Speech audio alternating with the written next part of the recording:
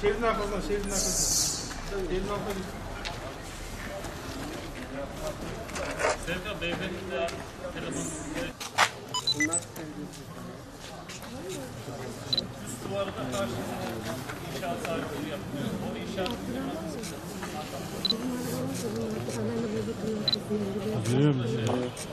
Görüyor musun?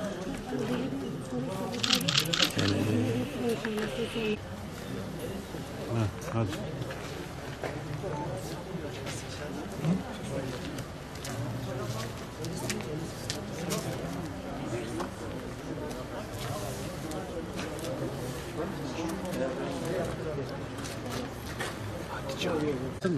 Valla iftar saatinden 10 dakika önce geldim ben.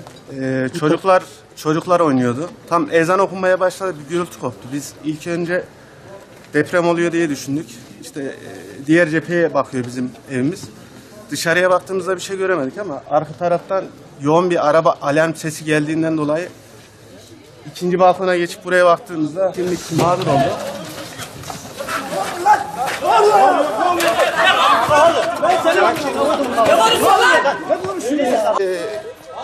Belediye mi el atacak, müteahhit mi el atacak, nasıl olacak bilmiyorum. Yani bunun başta yapılırken, bir üst taraftaki bina yapılırken gördüğünüz üzere e, istinat duvarının üstüne istinat duvarı koydu. Böyle bir uygulamayı ben ilk kez gördüm. Buna belediye nasıl izin verdi? Veya buradaki müteahhit 2 metre, yani 2 metre geride durup 2 metre öteden bu istinat duvarını yapsaydı bu şekilde olmazdı. Yukarıda Biz tekrar bir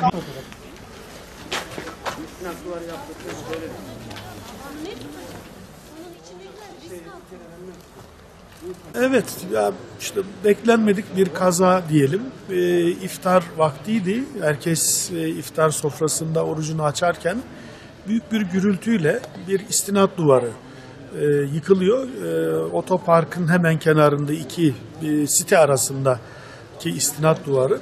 Yaklaşık 6-7 metre yüksekliğinde e, bir duvar. 11 tane aracı altına aldı. Şu an itibariyle e, 11 araç hemen hemen pert vaziyette gözüküyor. Tabii emniyet ve belediye gerekli tedbirleri ve takiplerini başlattılar. Şu an itibariyle yapacak bir şey yok. Ee, işte şuna şükrediyoruz ki hiç kimse bir can kaybına maruz kalmadı. Ee, herkes evindeydi.